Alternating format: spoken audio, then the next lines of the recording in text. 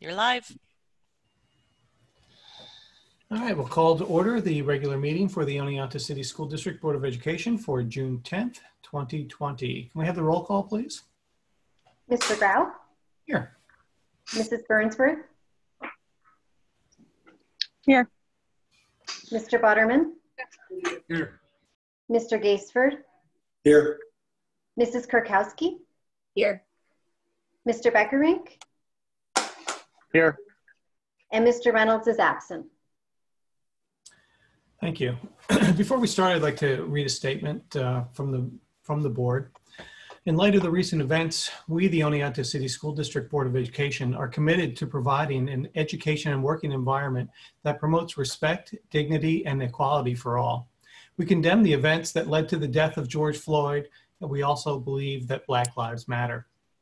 As a district, we're committed to welcoming everyone and recognizing that as a society, we have work to do.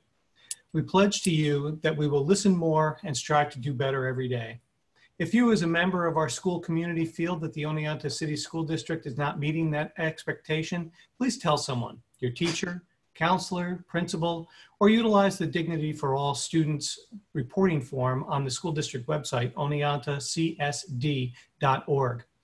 We want to know, we need to know, so we can do better. We want our school district to be a place where everyone feels safe and valued. As your school board, we hope to set that example for how members of our school community should be treated. We promise to treat all members of our school community with respect, empathy, and understanding. We have before us a great opportunity to learn from each other and to lean into uncomfortable conversations and commit to doing better. Moving forward, we promise to listen, to learn, and to help foster a more diverse school community where all students and staff feel valued and important. All right, thank you. Resolved to accept the agenda as amended. So moved. Second. All in favor? Aye. Aye. Aye. Aye.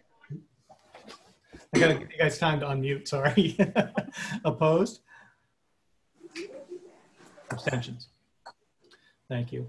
Uh, I also, I want to mention one other thing. There are two opportunities for the public to address the board in our uh, agenda. One is coming up in a, in a minute or so, and then there's another one at the end. Uh, for those of you from the public, you can go to the Q&A at the bottom and post a uh, comment there, which uh, during the appropriate time I, time I will read. Uh, let's move down. Resolved to accept the minutes of the May 27th, 2020 Board of Education meeting as presented. So moved. Second. Second. Any discussion there? Corrections? All in favor? Aye. Aye. Opposed? Abstentions? Thank you. Uh, This does bring us to our first opportunity to address the board. Uh, As I said, there'll be another one coming down uh, near the end of the meeting.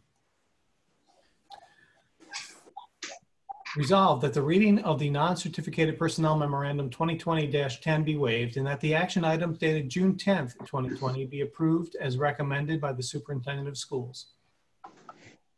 So moved. Second. Any discussion?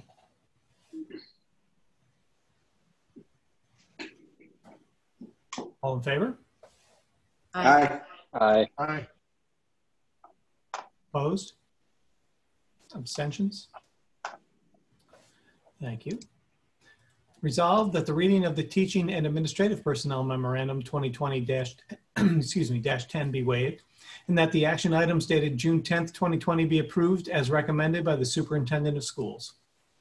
So moved. Second. Any discussion? Mr. Grau, if, if I could, uh, on tonight's uh, memorandum, there is, uh, there are uh, two new folks, Hannah Sagis and Katrina Havrish. And Hannah is um, the daughter of Angie, who works in our uh, district, and uh, the daughter of Chris, who's a teacher in a nearby district. And upon your approval, we're, we're super excited to have Hannah with us. And Katrina uh, comes to us with a, with a, a wealth of experience. Um, she has uh, worked at Springbrook, and she's going to bring that experience and those skills with her to uh, to the Oneonta City School District, where she'll be working at Riverside Elementary, and we are excited to have her, and we're excited to have both, and we wish them both long, happy, and healthy careers here in Oneonta. All right. Thank you. I can hear you a lot better this week, Tom. That's great. Yeah, me too. You guys, you know what? It was, you know, I, I got rid of that other, that new camera. We, we went back to the old camera. Great. Good move. Thank you. You look better too. Spell yourself. All right, I'll stop. Do you mind if we take a vote? Second. Uh, all in favor? Aye. Opposed? Abstentions? Thank you. All right, that brings us down to the capital project update, which we can now hear loud and clear. Yeah, well, listen, there, you know, again, there's just a lot going on. Um, if you've uh, driven by Center Street, uh, of course, this is the repair reserve uh, projects that we have going on there, but the roof is um, pretty close to completion, as poor Lisa can attest. As uh, it's it's been like a, a, an ongoing thunderstorm on the roof above uh, her office.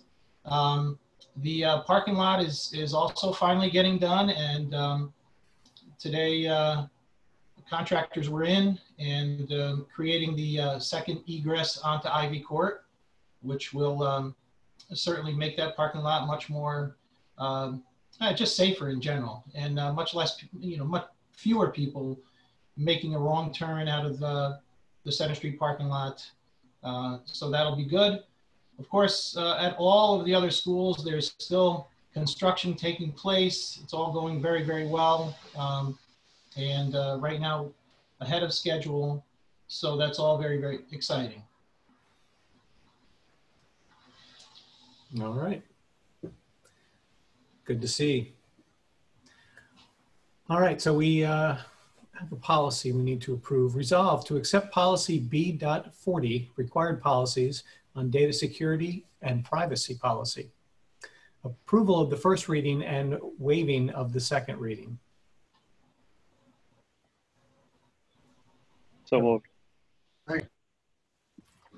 Discussion? Mr. Grau, this is this is obviously uh, to keep our district in compliance with the uh, Ed 2D law, um, and uh, this was um, fashioned from our school attorneys uh, to make sure that we are in compliance with uh, with the state law and regulations. Thank you. Any other discussion? All in favor? Aye. Opposed? Abstentions? Thank you. Resolved that the Board of Education hereby appoints the following persons to serve in the capacity of registration board slash poll instructors for the June 16th, 2020 board vote and election. The vote will be conducted through absentee ballot. Appointees Charlotte Georgia, David Purity, Robert, uh, Rebecca Vanderwerker, Charlotte Santamount, and Sarah Crone. So moved. So moved. Sorry. Second. Discussion? So this is uh, because we had to- the state move the, uh, the date for which uh, ballots are due. We had to obviously move the date to which we could count the ballots. Uh, So we needed to uh, have a resolution. The original resolution was for yesterday. Um, So these people will be counting the ballots and uh, that will be available uh, via Zoom also. You'll be able to watch that, or yeah, Zoom. You'll be able to watch that streaming live as they count the ballots. That should be thrilling. Um, any other discussion? All in favor? Aye. Aye. Aye. Opposed? Abstentions?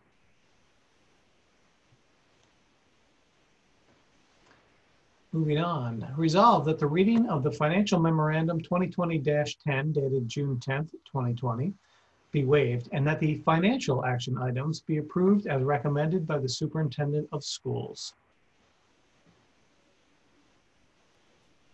Hello. Second. Second. Discussion. Um, yep, there's nothing really out of the ordinary on there. There's um, a few quotes that we do annually. The, um, the refuse and recyclable bid is actually the same as it is this year. And you can see that they were, they came in very, very close to each other. Um, for the boiler service, we have the new boilers. So we did have the um, manufacturer, the company that installed them, uh, look over our, our quote so that we had the updated um, information in there. And then we had to add some for the pool area also. Um, this, we had one um, quote and they were the only ones around that do that. The, the person who currently services our boilers, uh, the old boilers doesn't work on this kind. So that was a little bit of a change for us. And the change order um, is there and they're explained on the change order for work that was done already on the project. Any questions?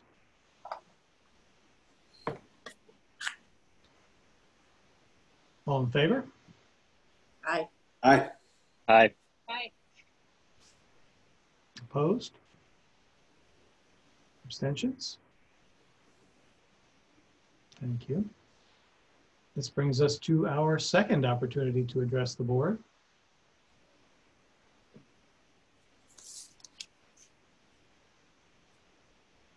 And I don't see any comments in there, so we'll move down to roundtable.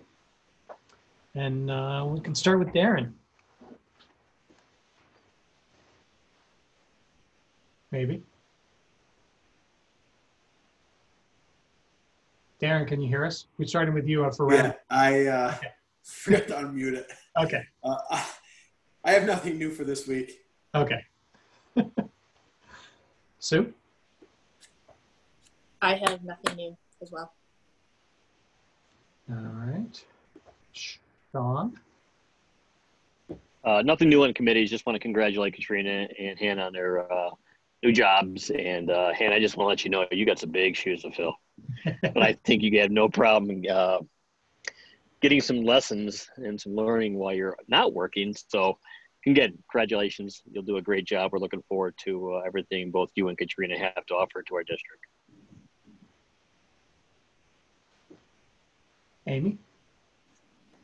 Can you hear me? I'm not Yeah. sure. Yep. Okay. Honestly, I don't have anything to report. Okay.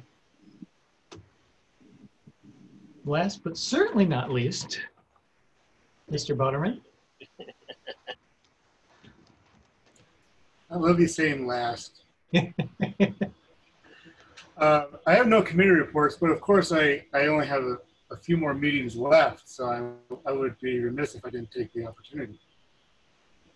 So I was thinking about the statement that you read at the beginning there, and I think it is not only timely, but really a very um, pointed statement.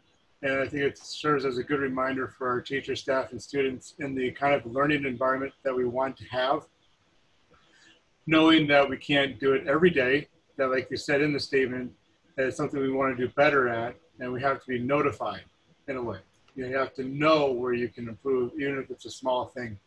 And uh, with that statement, also would be wrong if I didn't mention other things where you can hear similar statements uh, being made as far as the importance of, for all of us to be mindful of when we might have our blinders on and not see the things that are marginalizing those in our education community. And there's a, a, TED talk from Tracee Ellis Ross from two years ago at TED Women that talks about uh, women being, um, I don't want to say harassed or molested, but the things that you don't realize, realize that could marginalize or make a woman feel unsafe.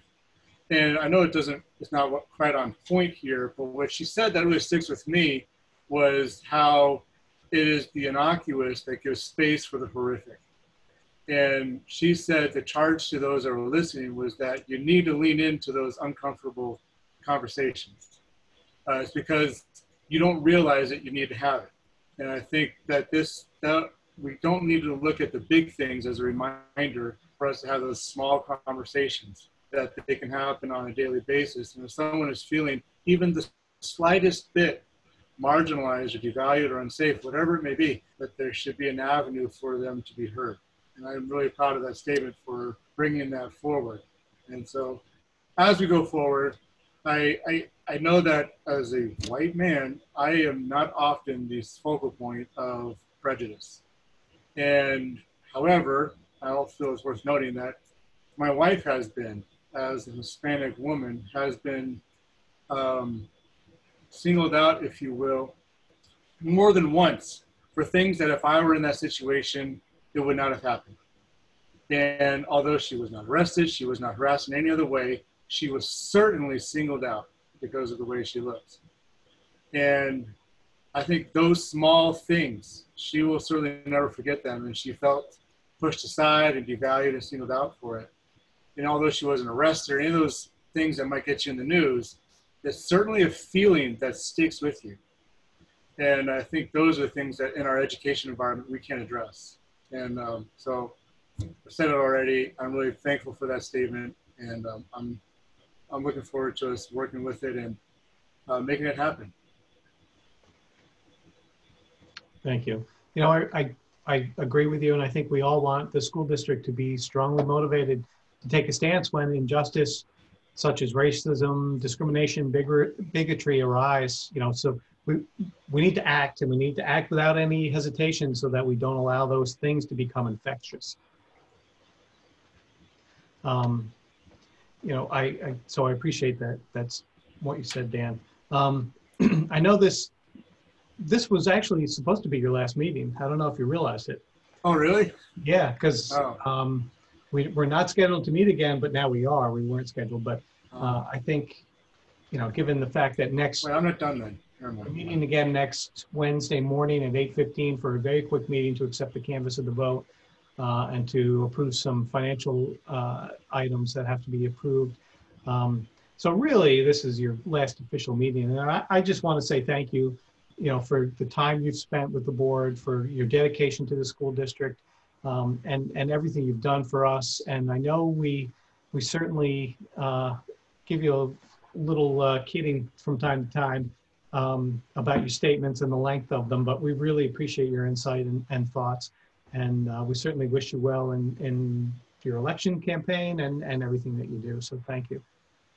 I don't appreciate saying as much. I, uh, I thought I had two more meetings. I forgot. So just one, just just next week. Got one more chance. Yep. so Sean needs you to keep it short, though. He's got to get on the road next week.